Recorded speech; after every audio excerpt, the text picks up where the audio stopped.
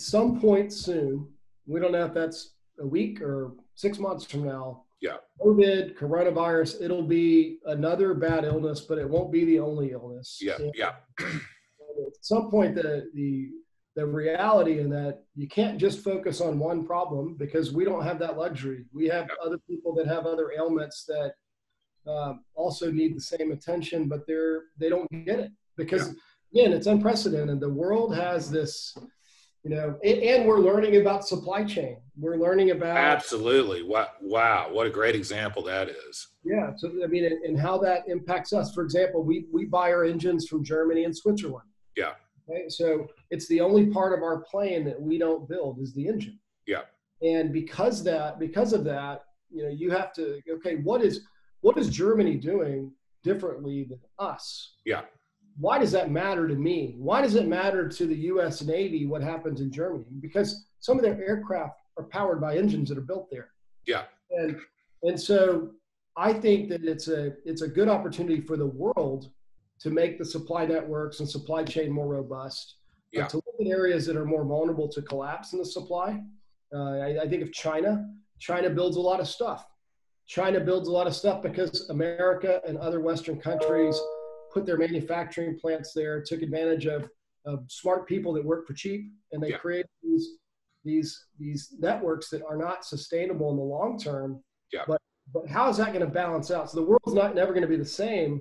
And I think a lot of that is going to be focused on how do how does the world supply itself? Like how do we how do we buy medicines? How do we buy watches? How do we buy batteries, cars, airplanes? All of that's changing. And we Yeah. get to be a part of that right now and we get to see how that happens and we get to watch the world's political leadership learn from commercial businesses around the world how best to do that.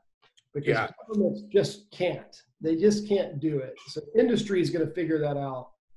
It'll be interesting to watch. Could, couldn't couldn't agree with you more. And you know, one of the things that I've, and I, I don't want to sound like a old man, but one of the things I think that, uh, in particular in America, is we've gotten soft.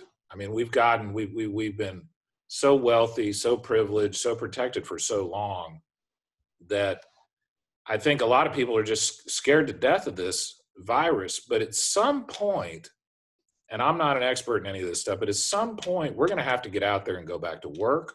We're going to have to just accept that there are going to be people that get infected with this, Mm-hmm. and we're just going to have to deal with it. We're just going to have to be mentally resilient. I, I think some of the time, and, and again, particularly, I'm, I'm speaking about American citizens because I know a lot more about that than other countries, but but we, our risk profile is too low. We're not we're not willing to take some smart risk. And the problem, mm-hmm. as you know, of course, is if we don't get the economy restarted, and we can do it in different ways, you know, slow rollouts and stuff like that. But if we don't get the economy started, then then truly the the death and disease and addiction and all that'll be way worse than, than the virus was. And so and we're just going to have to you know tighten our belts a little bit i think and toughen up and and and you know the other thing that's great blake is like you mentioned we can see what other countries are doing in the united states we have the advantage of having a federal system where the states can do different things and so